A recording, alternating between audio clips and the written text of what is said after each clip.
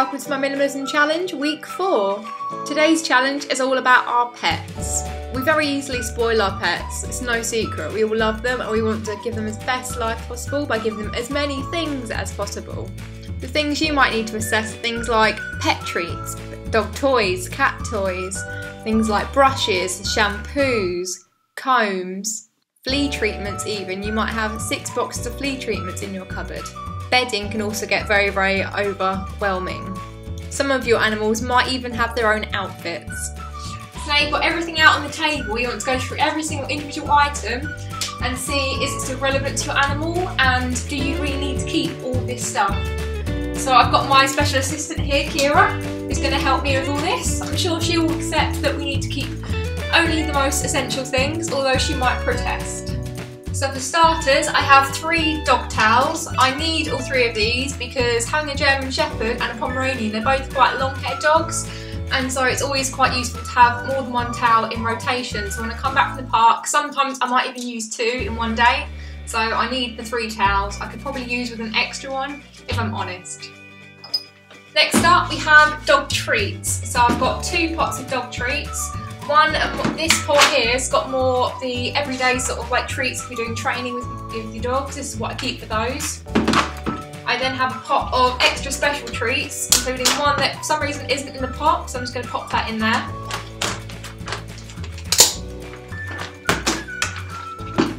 Next up I have collars and leads. So my dog has or one of my dogs might I say, has this bandana collar. I like this because she's a German Shepherd.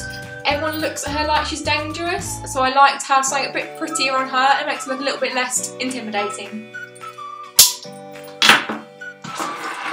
She also has this harness if we go for a long walk and she's on the lead. Sometimes she pulls a little bit, so it's always quite a useful thing to have. Great as a little training tool as well for getting our dogs to walk nicely on the lead.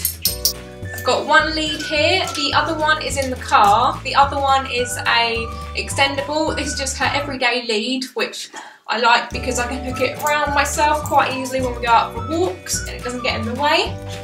I've got two vet cards, so one for Kira and one for Buffy. Nail trimmers, we need those. I've got two brushes. One has a, a hair tool, so if, for example, Kira gets a lot of loose hair, so I can brush that through and it pulls out the loose fur. This side is great for knots and detangling. And this one is just a standard brush, it's nice and soft and it's quite easy for doing areas, especially around the ears where it's a little bit more delicate, so I like that one too, that's a very good brush to keep. We have paw wax. This is great for different weather conditions, for example if you're out in the snow or the ice, it protects your dog's feet. Got a Puppy Fresh deodorising spray. This is great for in between washes. It just helps the dogs keep a bit more fresher smelling. Although Kira absolutely hates this smell and she goes mental rubbing her face all over the floor, all over the carpet, trying to get it off of her. Tooth wipes. These I do not use on my German Shepherd, but I do use on my Pomeranian because she doesn't like having her teeth brushed. So it's quite an easy way. I put one of the wipes on the end of my finger and I can rub down the side of her teeth. She's nine and she's getting on a little bit and she has got a bit of a like plaque build up on her teeth. But where she's so old now, she doesn't like having a toothbrush put in her mouth, which you can understand, I'm sure. We have one bottle of puppy shampoo. This I use on both of my dogs and it smells the same as the Puppy Fresh In Between wash spray. Oral liquid care, I like to put this in my dog's water bowl. Multi-purpose wipes, these are always very useful for odd things like cleaning out their ears or if they're a bit dirty underneath, they've gone to the toilet and it's stuck with them, you can use those to get rid of the odd bits and bobs. I often use baby wipes as well, I do have a tub of ones from Pets at Home that are specifically for dogs. Next up I have a little pot of medication and things. So we have here tablets which we use for Kira because she's got a bit of separation anxiety. There's a natural herbal remedy and I put them in with her food in the morning and it keeps her a little bit calmer throughout the day. I still have the packaging for these which I do not need, so that will be going first. I've got one box of one dose dewormers. One box of Travalis tablets. I use these for my little dog, however I think she's actually got over her sickness when she travels, so these will be going. flexible joint tablets. My Pomeranian also suffers from a little bit of arthritis, so just half of these, half of one of these tablets every single day. This helps when she's going up the stairs and jumping on the, off the sofa. Doggy toothpaste for Kira. We have eardrops, one sachet of flea treatment. These eye drops were actually from when Kira had of conjunctivitis and I don't need to keep that anymore. I shouldn't have that. In here, I will not show you, but I've got a couple of their baby teeth, which I've actually actually kept. Um, I probably don't need these, but for sentimental reasons, these will be staying. We have poo bags, naturally you need those. I just want to point out I did have two more dog shampoos which I got rid of earlier this week because I didn't need them. I only tend to use the puppy one on both of them so the other two were pretty irrelevant. Last up we have dog toys.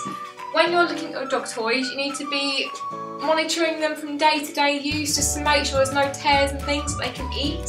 So for example, this one will be going in the bin because as you can see, Kira has pulled out all the stuffing from inside its head. So unfortunately, that one's going to have to go in the bin.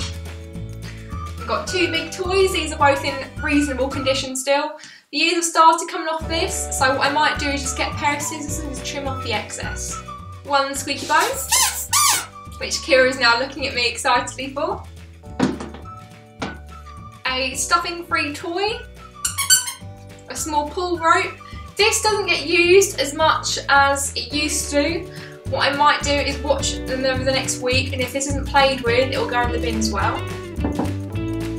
And last but not least, a Kong. It is a bit dirty, so I will not be showing you too much in detail, but this is brilliant for my German Shepherd again. When we go out for her separation anxiety, it gives her something to do rather than destroying the house.